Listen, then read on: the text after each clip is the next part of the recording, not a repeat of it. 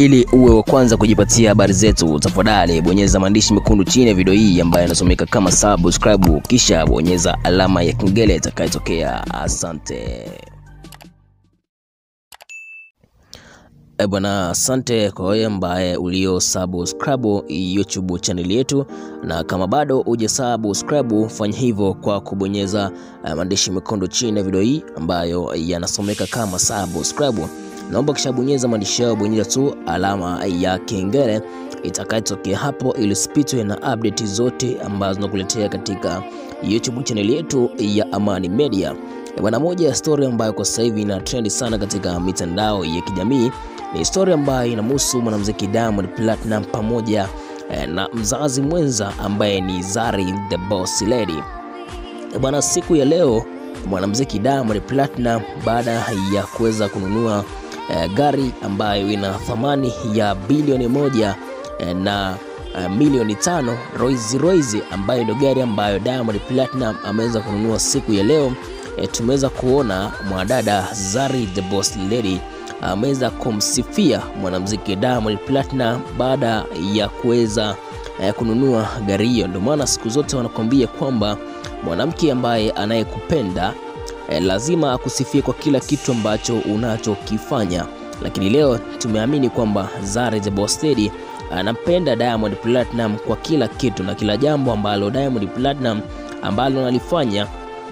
Lazima Zari the Boss Lady aweze kumsifia, na leo tumeweza kuona pongezi ambazo Zari the Boss Lady ameweza kumpa mwanamuziki Diamond Platinum baada ya kuweza kununua gari hiyo ambayo ina thamani za hela za Kitanzania bilioni moja na milioni tano. E bana, sasa hivi sasa e, Zari Steady baada ya kuweza kuona gari hiyo imetua nchini Tanzania ameweza kuiposti katika ukurasa wake wa Instagram na kuweza kuandika maneno ambayo ambayo yamewakashifu kwa wale ambao walikuwa wamesema mwanamuziki Diamond Platinum ana hela za kuweza kununua gari hii ya Rolls Royce ambayo ina thamani za hela za Kitanzania bilioni moja na milioni tano. Ameweza kuandika hivi, amesema kwamba nyie ambao mlikuwa mnasema kwamba hawezi kununua gari hili, sasa hivi mmeweza kuona, mtajificha wapi? Sura zenu mtaziweka wapi jamani? Hebu acheni kwa mambo yenu ambayo mnayoongelea.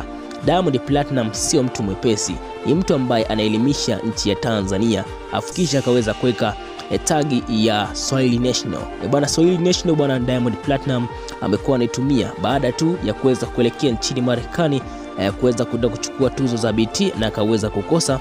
Mwanamuziki Diamond Platinum alikuwa ameenda kuwakilisha nchi ya Afrika Mashariki kuweza kuwakilisha Swahili National na mwisho wa siku akaweza kukosa tuzo hizo, na sasa hivi bwana mwanamuziki Diamond Platinum amerudi nchini Tanzania baada tu ya kukamilisha albamu yake ambayo alikuwa ameenda kuifanya kule nchini Marekani, na tunajua kwamba mwanamuziki Diamond Platinum akuenda tu Marekani kwa sababu za tuzo za BT, alienda kufanya kolabo na wasanii mbalimbali, vilevile kama wasanii Snoop Dogg akiwa vilevile akiwa na Swizbeat vilevile na wasanii kibao ambao alikutana nao mwanamuziki Diamond Platinum ameweza kukutana nao. Sasa hivi sasa mwanamuziki Diamond Platinum alivyotua nchini Tanzania ameweza kutua na gari hiyo ya Rolls Royce bwana. Hiyo ndo gari ambayo Diamond Platinum ilikuwa ni ndoto yake, lazima aweze kutimiza ndoto hiyo ya kuweza kununua gari hiyo, na ndo hivyo sasa mwana bibi Zari ambaye ndo mzazi mwenza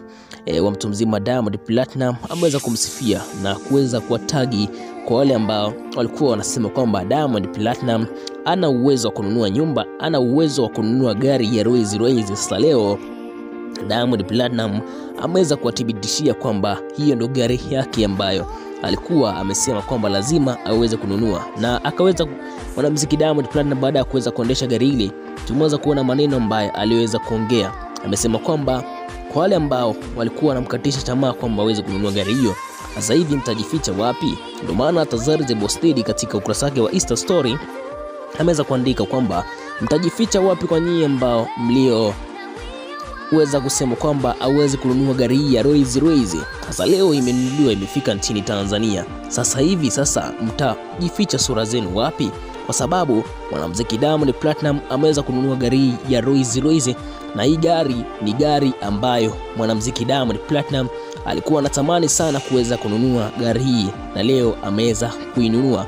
na hii gari e, tunaona hapa nchini Afrika kwa wasanii ambao wanayo e, ni mwanamuziki Davido na leo Diamond Platinum amebidi anunue gari hiyo, na tulikuwa tumeweza kuona muda mrefu sana e, mwanamuziki Diamond Platinum alikuwa ameitagi e, katika ukurasa wake pale e, kwenye ukurasa wake wa Instagram, na baada ya watu kuweza kumpa maneno mengi Diamond Platinum mwisho siku akaja kuifuta ile posti ya gari hiyo ya Rolls Royce. Waandishi wa habari walimuuliza sana kwa nini Diamond Platinum umeweza kufuta hili, akasema kwamba msijiulize kwamba ni kwa nini nimefuta, subirini tu nikamilishe mambo yangu, sasa hivi mtaweza kuona. Na leo ameweza kuitua nchini Tanzania. Tumeweza kumpa sapoti mwanamuziki Diamond Platinum baada tu ya kufika nchini Marekani, lakini vile vile tumeweza kumpa sapoti baada ya kwenda kuandaa albamu yake, na ameweza kuimba na wasanii tofauti tofauti.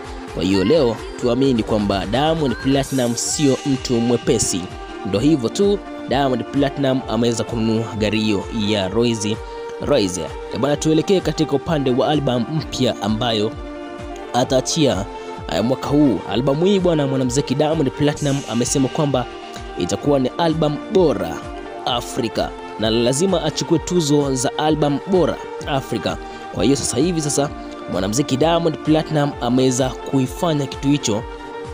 Uh, tumeweza kuona kwamba aliweza kuwashirikisha watu wengi katika albamu yake ambayo ataiachia, na albamu hii itakuwa tu haitakuwa tu na uh, watu wa Tanzania, itakuwa na watu kutokea nchi mbalimbali. Ndio maana alikuwa anatumia kwa lugha moja tu akisema Swahili National, kwamba lazima awaelimishe kwamba Tanzania lugha yetu ni lugha kipekee. Ndio maana hata hivyo alivyoenda nchini Marekani alitumia mavazi ya Kimasai ndio maana alitumia lugha ya Swahili National. Kwa hiyo ameweza kuwashirikisha watu mbalimbali kutokea nchi mbalimbali. Tumeweza kuona ameweza kuwashirikisha wasanii kutokea India, Marekani, lakini vilevile ameshirikisha wasanii kutokea Nigeria na pale South Africa. Hivyo ndo album mpya ambayo itatokea mwaka huu ni Swahili National, lakini mpaka sasa hivi hatujua jina gani ambalo mwanamuziki Diamond Platinum atalitumia katika albamu yake ambayo atatia eh, mwaka huu 2021 na tunajua kwamba mwanamuziki Diamond Platinum ana albamu moja tu ambayo ni albamu ya Afro East ambayo Afro East ni ya mwanamuziki Harmonize, lakini mwanamuziki Diamond Platinum ana albamu yake ambayo ni Afro Tandale. Sasa hivi sasa mwanamuziki Diamond Platinum anaachia albamu yake ya pili, lakini vilevile mwanamuziki Harmonize naye ataachia albamu yake mwaka huu 2020. Kwa hiyo albamu yake tunaona kwamba ishakamilika ya mwanamuziki Harmonize, anasubiria tu kuiachia na bado yatupa jina kwamba ni albamu yake inaitwa jina gani, na hivyo hivyo tutaweza kuona albamu hiyo itaweza kuja mwaka huu 2020 eh, na moja na sasa hivi tusubirie tu kwamba albamu nyingi ambazo eh, zinakuja mwaka huu 2020, lakini vilevile ni albamu ambazo zitakuwa zimetisha kinomanoma. Ni kuache tu kwamba usiache kudondosha maoni yako chini ya video hii baada tu mwanamuziki Diamond Platinum kuweza kusifiwa na mwadada Zarina Hassan ambaye ni mzazi mwenza wa mwanamuziki Diamond Platinum ambaye ameweza kuzaa naye watoto wawili. Dondosha comment yake chini ya video, utakometisha kinomonoma. Bye bye, tukutane mwingine kwa story ambazo uh, zina trend na kumake kupitia mitandao ya kijamii.